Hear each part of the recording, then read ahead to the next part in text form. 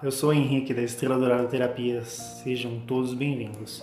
Estou aqui para falar sobre um assunto bem bacana, onde eu sou questionado muitas vezes por algumas pessoas sobre o que é o reiki, o que é a aplicação de reiki, o que é a energia reiki. Então, apesar de ser um assunto muito falado na internet e abordado em alguns lugares, existe muitas pessoas que desconhecem o que é o reiki.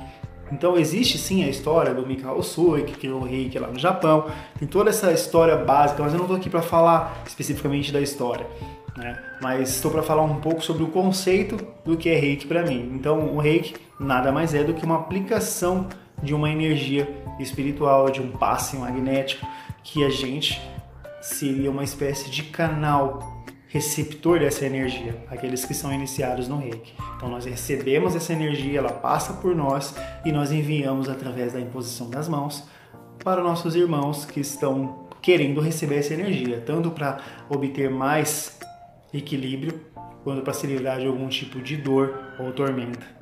Então, por que receber reiki? As pessoas também me perguntam, né? Ah, eu quero receber reiki porque. Por quê? Né? Geralmente é porque as pessoas estão com algum tipo de dor ou sofrimento ou tristeza, a energia ela deixa a gente mais vitalizado, mais confiante, mais energizado. Então, se você tem problemas de dores, se você tem problemas de insônia ou até de tristeza ou problemas de desequilíbrio energético espiritual, quando você percebe que está em alguma situação assim, o ideal seria você tentar participar de uma sessão de reiki que existe de forma gratuita em muitos lugares e também de forma particular e paga em outros lugares.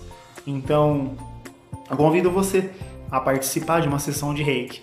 Caso você tenha interesse de participar conosco, entre em contato conosco através das mídias sociais. Gratidão, paz, luz e muito boa sorte.